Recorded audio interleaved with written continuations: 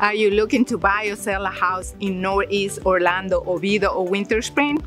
I am Diana Sacoto with Remax Town & Country and the Realtor Scott Garrison team. I have been a licensed agent since 2002 and will be happy to help you with anything in Central Florida real estate, no matter where are you in the process.